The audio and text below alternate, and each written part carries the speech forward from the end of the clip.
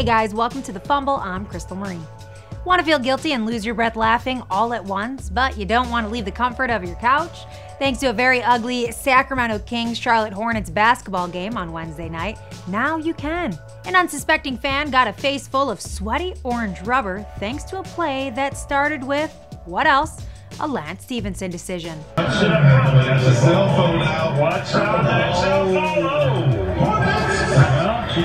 So many people to blame for the misfortune. Who deserves it most?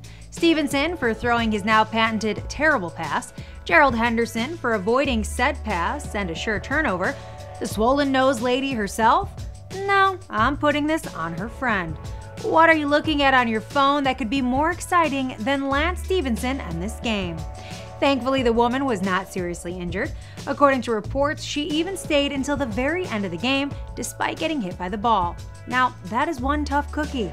To watch Lance Stephenson break Anthony Tolliver's ankles, then do a hilarious Taylor Swift dance, click here. And before you go, don't forget to subscribe to The Fumble for more of the best highlights from all your favorite sporting events.